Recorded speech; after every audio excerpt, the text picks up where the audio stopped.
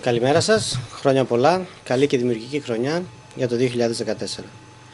Την Κυριακή, 5 Ιανουαρίου, έκλεισε η αυλαία της 10ης Ονειρούπολης.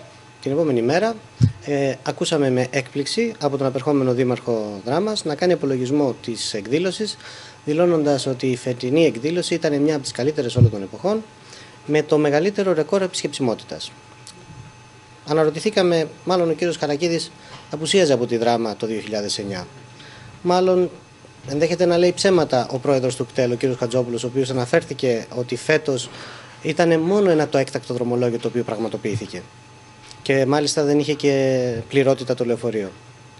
Επιπλέον, κάποιοι μας λένε ότι η περσινή Ονειρούπολη θα μείνει στην ιστορία ως η αρπαχτή μέσα σε εισαγωγικά της κυρίας Παπαρίζου, ενώ η φετινή θα μείνει στην ιστορία για την κάφο που έκανε ο κ. Χαρακίδης, όταν σε ερώτηση του κ. Γιωργαντά στην τελετή έναρξης ποιος εμπνεύστηκε και είχε αυτή την όμορφη ιδέα για αυτή την εκδήλωση πριν από 10 χρόνια, απλώς δεν απάντησε.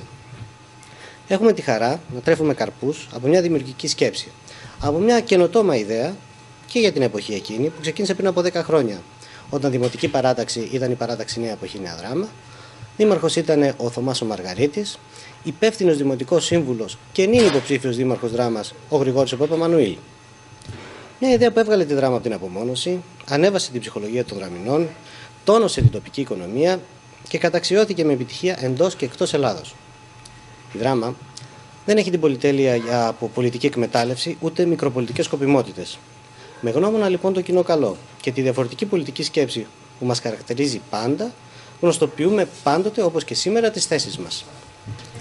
Καθ' όλη τη διάρκεια του χρόνου λοιπόν, πριν την εκδήλωση, κατά τη διάρκεια αυτής, ε, ακόμα και στην προετοιμασία αυτής, στηρίξαμε την εκδήλωση και προσπαθήσαμε να συνεισφέρουμε θετικά. Δεν ασκήσαμε στήρα κριτική. Δεν καταθέσαμε δημόσια τις αρνητικές μας παρατηρήσεις. Δεν θέλαμε σε καμία περίπτωση να υπονομεύσουμε την εκδήλωση. Θεσμικά, φυσικά, ως αντιπολίτευση και με την εμπειρία μας από την καθολική επιτυχία, αν θέλετε, των προηγούμενων ετών, καταθέσαμε δημιουργικές προτάσεις, εκφράσαμε διαφωνίες για τη διαχείριση, οργάνωση, λειτουργία αλλά και προβολή αυτής, τόσο μέσα στο Δημοτικό Συμβούλιο, όσο και στην Οργανωτική Επιτροπή.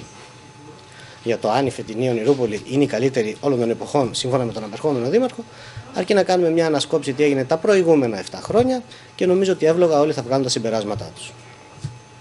Και για να προλάβουμε σχόλια ή απαντήσεις του τύπου ότι διαφορετικές οικονομικές συγκυρίες, ε, άλλα τα χρόνια εκείνα δεν υπήρχε, αν θέλετε, ανταγωνισμός, θα σας έλεγα ότι όλες οι εποχές και οι χρονικές συγκυρίες μας δίνουν πλεονεκτήματα και μειονεκτήματα.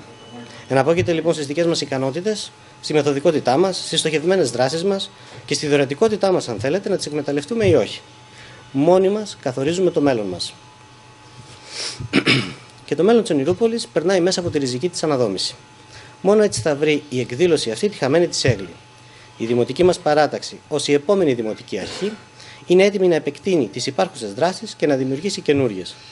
Στόχος μας είναι να θεσμοθετήσουμε εκδηλώσεις οι οποίες θα κάνουν την πόλη μας γνωστή ως σημείο αναφοράς σε όλη την Ελλάδα αλλά και στα Βαλκάνια. Στόχος μας είναι να κάνουμε τη δράμα μας πρωταγωνίστρια. Ευχαριστώ πολύ. Κάποιος σας ρωτήσει, η κρίση δεν επηρεάζει την κίνηση της Ονειρούπολη.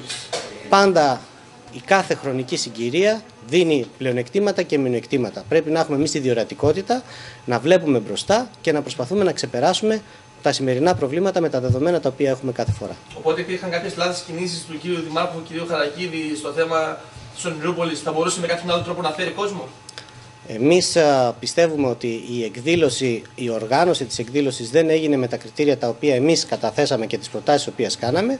Πιστεύουμε ότι η εκδήλωση μπορεί να ε, αναπτυχθεί ακόμα περισσότερο, να αποκτήσει το χαμένο της χαρακτήρα.